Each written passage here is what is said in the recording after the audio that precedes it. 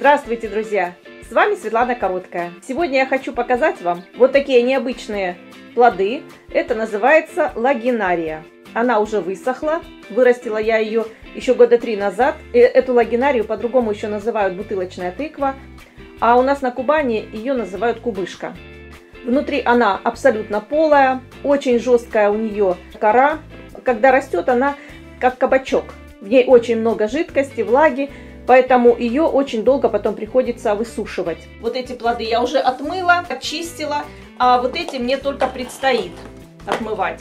Потому что когда она сохнет, очень много вот этой жидкости выделяется и прям потеки такие идут по ней. Я еще хотела вам показать вот такую лагинарию. Я даже не знаю, как ее лучше вам показать потому что в длину она метр десять. Есть вот еще чуть-чуть поменьше, покороче. А разновидностей их очень много. Есть разновидности такие, как э, гусь в яблоках, лебеди, бутылочная лагинария. Есть такие, которые напоминают матрешку. Вот эти кубышечки для меня было очень трудно вырастить, потому что что-то им все время мешало. То муравьи заедали, потому что у них выделялся сладкий сок, то они очень любят влагу. Есть моменты, которые вызывают сложности. Почти полмесяца прорастает семечко. Первый раз, когда я посеяла, прошло полмесяца, и я не увидела всходов, я взяла и просто туда другие семена посадила. А потом оказалось, что вылезла эта кубышка у меня. Заодно и другие семена вылезли. Я уже не помню, что туда сажала. Но для меня в работе она сложна тем, что здесь без инструментов с ней ничего не сделаешь. У меня сейчас заказали сделать задекупаженные домики для птиц. И мне вот придется сейчас сына просить, чтобы он здесь вырезал инструментами отверстие. Очень жесткое. Семена в них остались еще, они как раз дозревшие и как раз будет возможность их посеять. Вообще семена продаются в любом магазине, где продают семена, называется лагинария. Единственное, что очень много у нее сортов. Как отмывать? Отмывать придется замачивать. И прям металлической мочалкой вот это все нужно будет счищать вот до такого состояния. На ней делать можно выжигание. Высверливают различные орнаменты, делают светильники. Декупаж здесь получается красивый. А вообще издревле из нее делали посуду. Единственное, там нужно будет внутренность очень хорошо вычищать, потому что вот эта высохшая мякоть, она там как пленочки, труха, вот это все приросшее к стенкам. Э, что из длинной, даже не представляю, что я из нее буду делать. Хорошо, что я фотографировала, как они растут, и у меня сейчас есть возможность показать вам это все в фотографиях.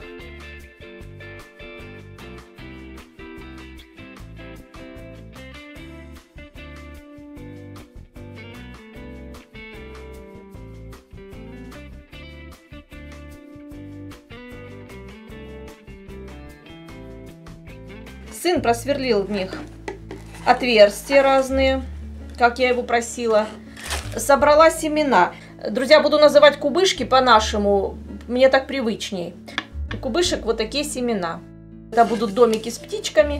Я буду сейчас все закрашивать белой акриловой краской. На кубышках, как я сказала, можно и выжигание, и роспись делать, декупаж. И можно э, специальным станком гравируют, вот как правильно, все, все подбирала это слово, гравируют.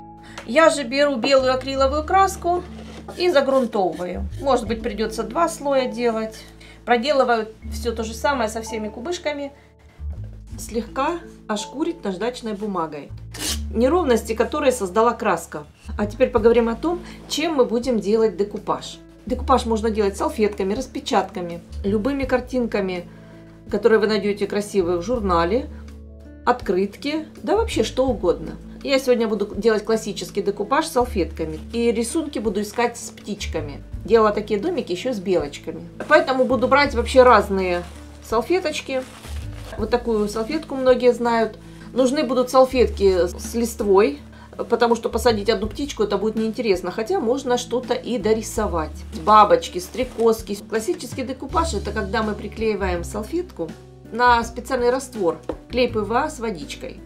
Примерно в равных пропорциях берем, но воды немножко больше. Друзья, этот раствор может храниться долго.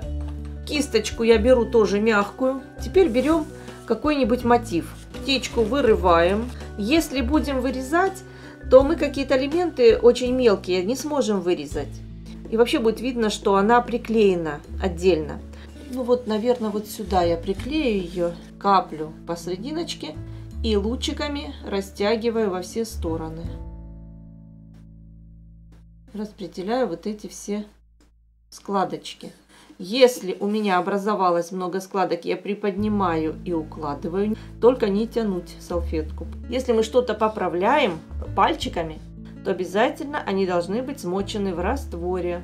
Чем хороши салфетки, тем, что на любую изогнутую поверхность легко вы все приклеите. Теперь я беру сухую салфеточку или туалетную бумагу и только сухими местами вот так все про, должна промокнуть.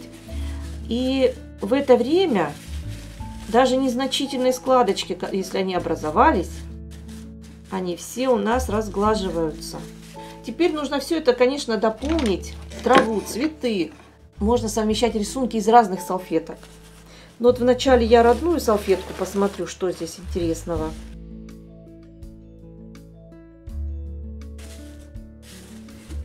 Конечно, сейчас картинки будут все сами по себе разобщены. Потом мы это все будем объединять в одну картину. В более округлых местах у меня, конечно, здесь появятся складочки. Если они мне не понравятся, я их смогу удалить наждачной бумагой после полного высыхания и покрытия лаком. Но бывает так, что мастера иногда делают специально складочки, оставляют. То есть такой вариант тоже допустим, и иногда это смотрится в работах очень красиво. В нашем деле, то есть в декупаже, самое главное не перегрузить работу. Если мы планируем, что птица это будет главный герой, то она должна быть более ярко выражена, даже если она будет малюсенькая, но она должна быть видна более четко, более ярко, чем остальные все детали. Поэтому сейчас я эту работу оставляю на просушку, потом будем уже добавлять фон и добавлять какие-то элементы, может быть, уже красками, кисточками. Сейчас у меня в руках вот такая яркая салфеточка. Тоже вырываю этих птичек. Что бы я здесь даже посоветовала, не знаю. Придется все равно все подрисовывать, дорисовывать. Не люблю я вырезанные детали. Придется подрыва... надрывать салфеточку в нескольких местах, чтобы она у меня улеглась. А что-то придется здесь убирать даже. Вот примерно таким образом. Сейчас я приклею чем крупнее фрагмент, тем труднее приклеивать. Для новичков, может быть, это будет сложно сделать еще и на неровной поверхности. Если долго салфеточку растягивать, она может порваться. Друзья, сейчас покажу вам, что получилось у меня, потому что я каждую кубышечку сделала по-своему. Здесь я использовала две салфетки. Просто мне нужно было заполнить вот это поле чем-то чем, -то, похожим. Здесь две салфетки. Вот здесь использовала целых три салфетки. Здесь более такая осенняя тема получилась, поэтому брала, вырывала какие-то мотивы вот из этой салфеточки. Здесь три салфетки использовались. Тоже часть отсюда брала. Вот такая интересная салфетка. Впервые ее использую. Она как раз сюда вот мне очень и по цветовой гамме подошла, и как осенний такой фон. А вот это у меня получилась вот такая яркая, сочная, зеленая, прям летняя. Добавила немножко здесь э, плюща. По цветовой гамме очень подошли, а дальше придется, конечно, все это дорабатывать. Мне нужно будет сделать такой светлый-светлый фон. Вот у меня остатки коричневого остались. Я сюда добавлю белый цвет. И если он все равно будет еще коричневатый, добавлю э, лимонного. Краски я использую акриловые с добавлением колера. Для таких больших работ в художественном магазине Э, покупать. Это очень дорого. Краски уходит э, обычно много. Мне этот цвет очень понравился, ничего больше сюда добавлять не буду. Сейчас возьму губку и губкой буду проходить все вот эти открытые места. Обратите внимание, что цвет фона на салфетке и цвет, который я сделала, не совсем совпадает. А мне этого и не надо. И я сильно не старалась сделать точно такой цвет. Просто, когда я дохожу сюда до фона на салфеточке, я, я плавно перехожу и на нее. Прям захожу на салфетку. Но самое главное, я забыла сказать, что салфетка у меня покрыта одним слоем акрилового лака. И поэтому, если мне что-то не понравится, я возьму мокрую влажную салфеточку и могу здесь удалить. Точно так же здесь я тоже перехожу прям на вот этот голубой фон. Фактически его полностью закрываю. Он у меня будет виден только где-то между цветочками, кое-где. Работая губкой, губка создает вот такие вот э, пузырьки на краске. Получается своеобразная такая фактура. Кому-то она нравится, кому-то нет. В итоге можно будет пошкурить наждачкой, можно так оставить. Но кто хочет совершенно гладкую работу, лучше брать не губку, а специальный спонжик, который не создает такой эффект. Или взять кисточку и просто покрасить все кисточкой. А теперь я возьму кисточку.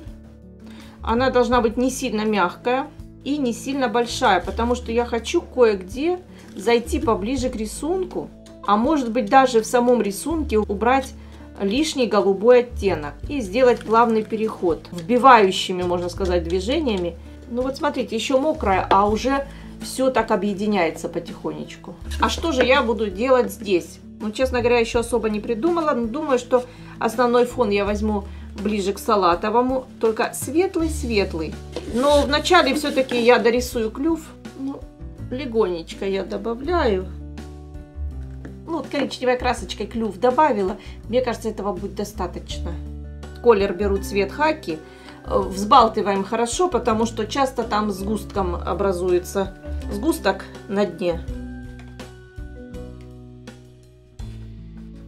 Где-то пройдусь и по листикам заглушу их. Вот здесь зайду на картинку, на салфетку с попугаями, приглушу вот их, вот эти джунгли. Здесь очень сложный, сложный фон, потому что очень много цвета было вот на этой салфетке, поэтому мне приходится фактически заходить и перекрашивать. Друзья, если у вас в итоге получится сильно яркий фон, я сейчас покажу вам, как его можно исправить. Для этого мы берем белую акриловую краску и акриловый лак, чтобы краска у меня белая стала полупрозрачной. Также можно губкой, можно кисточкой осветлить те места, которые вам показалось, что э, очень затемнены. Сейчас кажется, что это сильно белая получилась у меня, но когда высохнет, вы заметите, что она будет слегка-слегка иметь белый такой налет. Кстати, так можно пройти какими-то участками. Неоднородный и такой более сложный фон. Друзья, подсохла краска. Я прошлась наждачкой только по краске сильно на салфетку не заходила, потому что она покрыта только одним слоем лака. А вот красочку немного выровняла. Сейчас мне нужно будет немножечко подрисовать вот этих птичек. Видите, я за, зашла прямо на них краской. Темно-зеленый цвет. Делаю не сплошной линией зеленым, а вот как перышки, такими черточками. Головы у нас уже более-менее видны. И по телу пройдусь корич... темно-коричневым. Вот так, более ярко теперь они выражены. Нашла у себя столько интересных трафаретов. Смотрите, у кого нет салфеток с птичками, возьмите, вырежьте трафарет.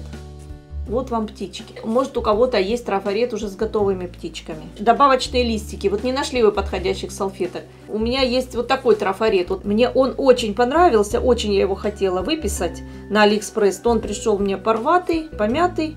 Но я все равно им пользуюсь. Может быть, какие-то веточки рябины. Не берем целый трафарет, а берем какой-то фрагмент, элемент из него. Все-все это можно использовать. Буду сейчас сюда добавлять листики осенние. Приближенно, думаю, это все будет, если смешать, будет э, очень близко к осенним таким тонам. Зеленый на один край, немножко красного цвета, оранжевого, желтого. И вот так их разбиваю.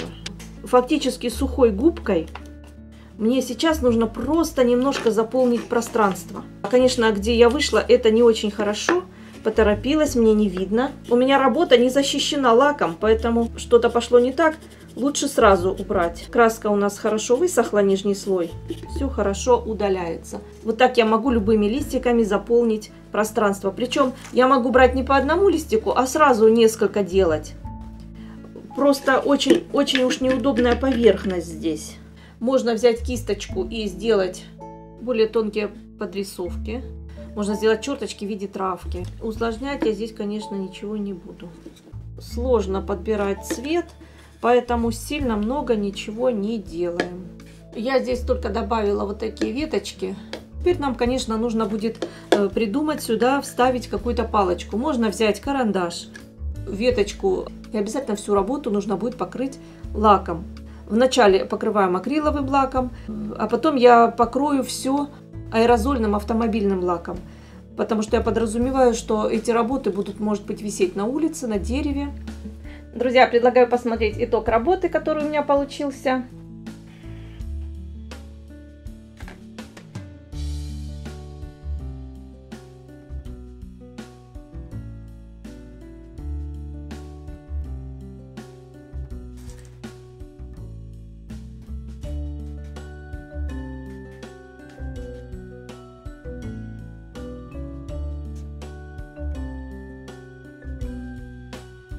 Сходила в магазин и купила еще вот такие сорта лагинарии. Вот здесь три вида и только три семечки.